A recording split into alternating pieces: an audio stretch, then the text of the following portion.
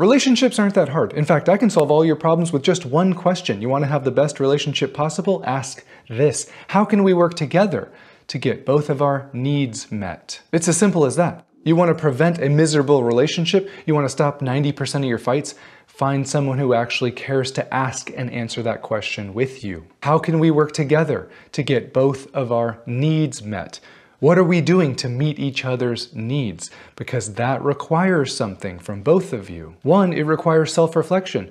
Do I even know what I need to feel close and safe and fulfilled in a relationship? Two, it requires honesty and vulnerability to tell your partner what those things are. Three, it requires accountability. Am I putting myself in healthy environments to get my legitimate relational needs met?